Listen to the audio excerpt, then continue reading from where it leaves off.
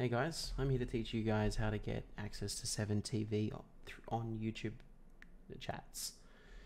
So, some of you may or may not know what 7TV is. It's a extension um, originally available on Twitch, which allows creators to come up with um, some custom and some more popular uh, generic emotes, which are widely used and being able to have those emotes being used in stream in extension to T1, 2, 3 bit sub emotes. So it just allows creators to have just a lot more emotes and allows viewers to communicate and really express how they are feeling, whether it's a good moment, bad moment, excited moment, sad moment. It allows viewers to be a lot more expressive with how they are how they are experiencing this, the content. So it's a little bit finicky, especially for YouTube. There's a couple of extra steps which make it a little bit more difficult.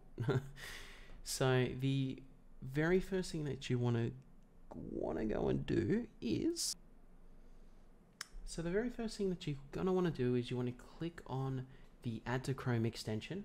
I'll make sure a link is included in the description and it'll then ask you to add the extension. You'll say yes and the very next thing it'll tell you is that this is also available on YouTube. You do need to click on this to activate it for YouTube as well.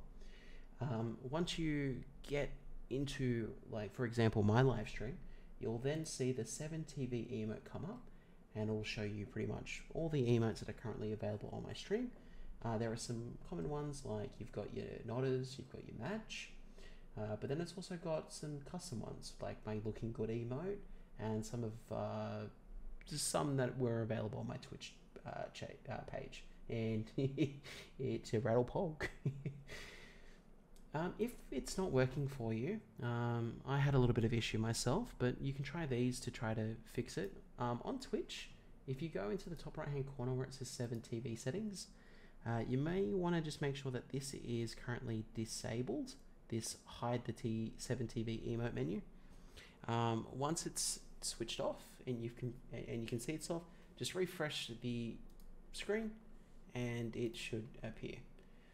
If it's still not working for you or you already had 7TV installed and it's not working for you, it's likely that you need to um, fix up some of the permissions again for 7TV.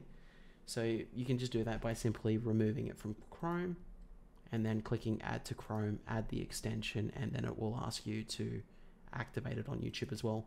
After doing this, it should be working for you.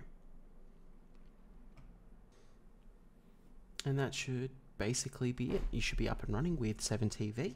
It should work on my stream and any other streamer on YouTube who has it enabled. If you still have any further issues, pop them in the comments below. I'll make sure I get through and try to help everyone I can.